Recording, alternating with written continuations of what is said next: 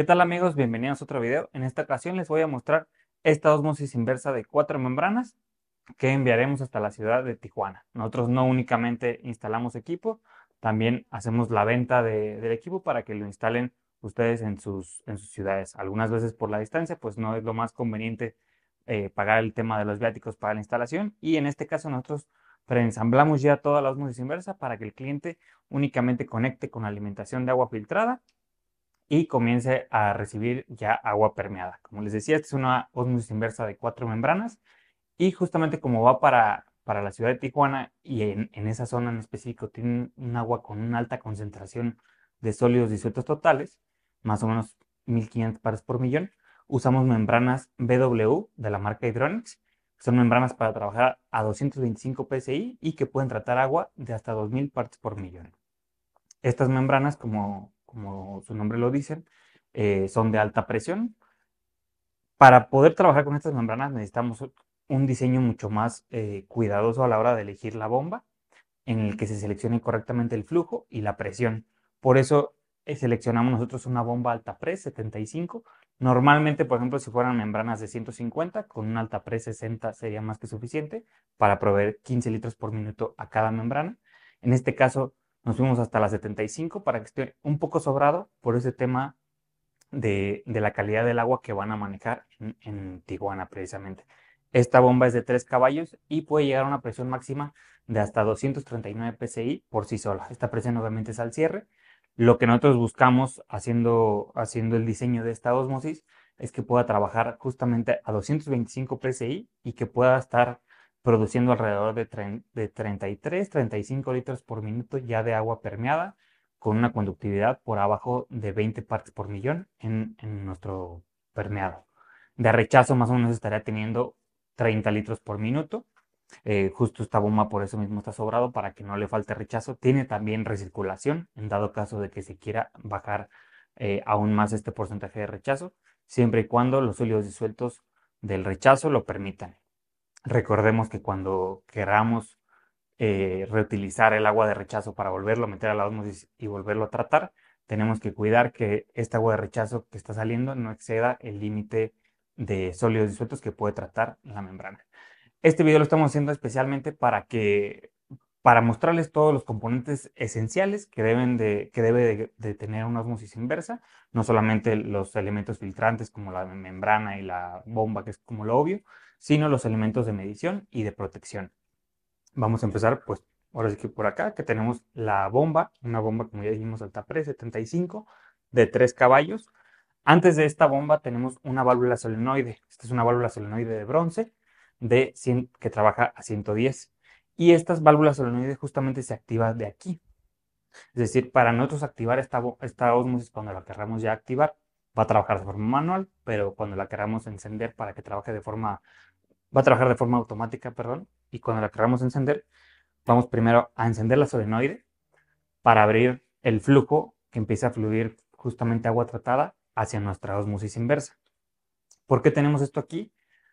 Para, para tener un indicador visual cuando esta bomba esté, cuando esta solenoide esté encendida, que nos indique visualmente que está pasando ya agua a la, a la membrana.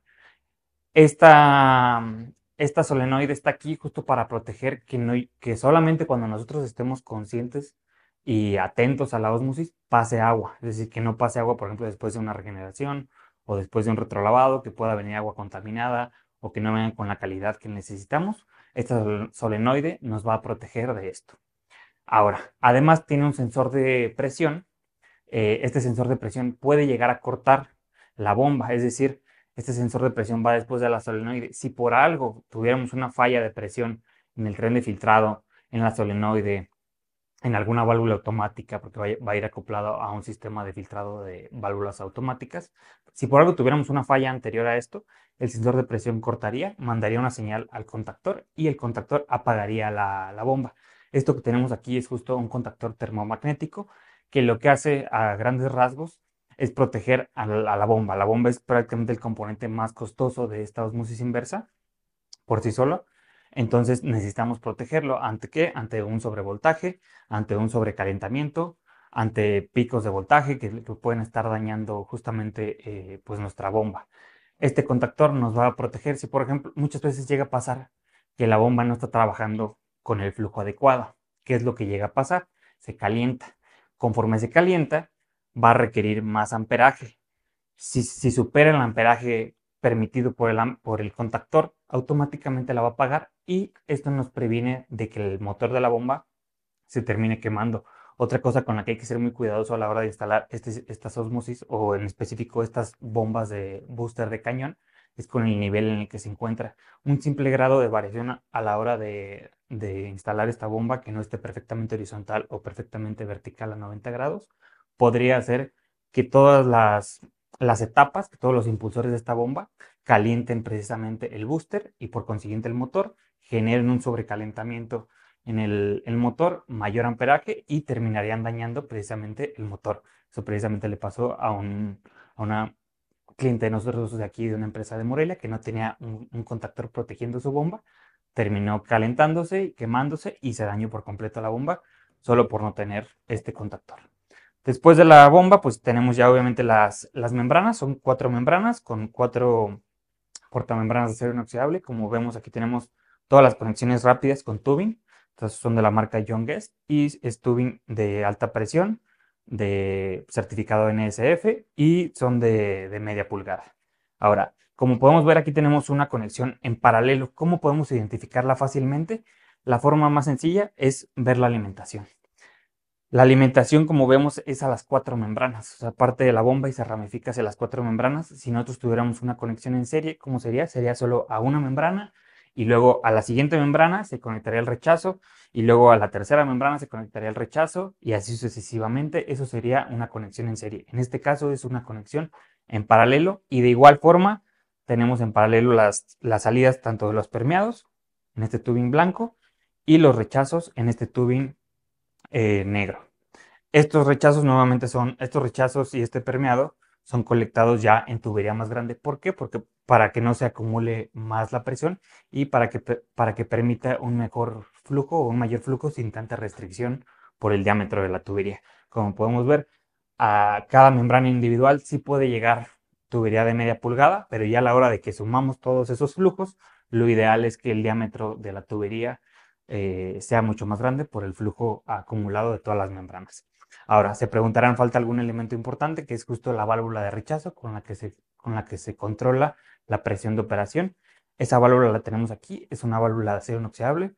La integramos perfectamente en el rack para que esté protegida, para que esté también más discreta y está muy a la mano justo para, para la operación. Esta válvula también soporta 300 PSI y está, como les decía, justo en la salida ya el rechazo acumulado, es decir, va a elevar la presión de las cuatro membranas eh, de, pues, uniformemente. Este rechazo después entra aquí a los flujómetros. Recuerden, es muy importante que una osmosis, eh, ya sea de una membrana o de cuatro o de más, entre más membranas, pues con mayor razón, tenga indicadores de flujo. Pero aún más importante es que tenga indicadores de presión. Si no tienen estos indicadores, es como manejar un carro sin tableros, manejar un carro a ciegas. Si, no sabemos cómo va a estar operando, no sabemos en cuanto empieza a bajar la eficiencia o en cuanto estamos teniendo algún problema, pues obviamente no, no nos vamos a, percatar de esto. Entonces, siempre un manómetro para la presión de operación. La presión de operación es la, es la presión que se encuentra entre la membrana y entre la bomba. Esa es la presión de operación. Ahora, hay otra presión que es la presión ya de rechazo. Esta se mide como tal acá o presión osmótica. Muchos de los equipos de osmosis solamente tienen la medición aquí. Y si bien sí nos puede dar un indicador, sí nos puede servir para operar, lo ideal sería o tener las dos o tener principalmente la de operación. ¿Por qué? Porque si la membrana se empieza a tapar, no nos vamos a dar cuenta. ¿Por qué? Porque nos está marcando la presión después de la membrana. Entonces realmente no vamos a tener una lectura tan fiable.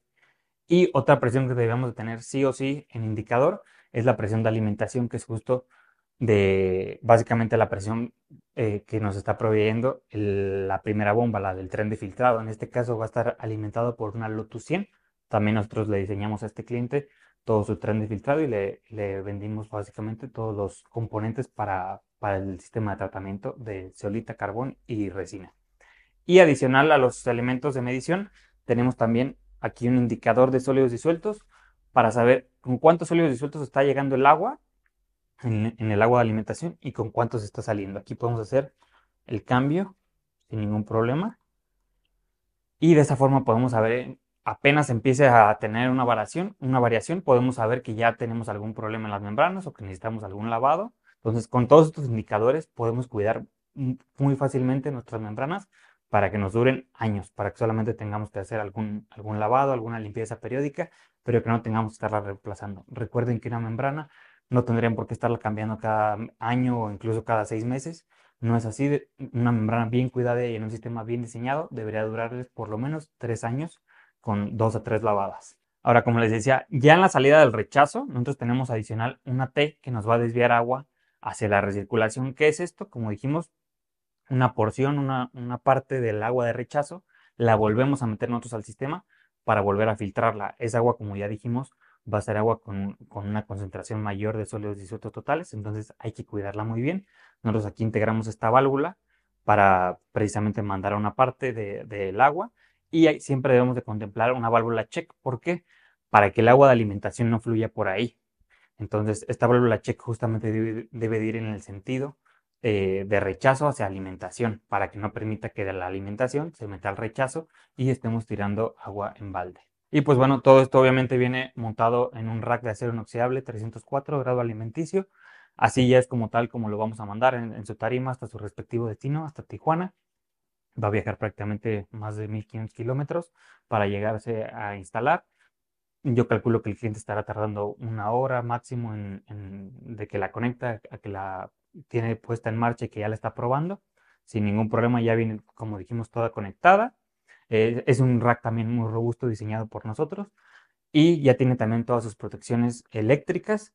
Eh, como dijimos, el contactor para proteger la bomba y también muy importante el cableado. El cableado tiene que ser del calibre suficiente para soportar justamente el, el amperaje de la bomba. Ahí sí se tienen que ir tal cual a la fichita técnica de la bomba buscar amperaje, dependiendo del voltaje al que esté trabajando, y buscar qué cable soporta ese amperaje, pasarse por lo menos por un 10 a 20% para que no tengan un problema de sobrecalentamiento en el cable y algún problema eléctrico.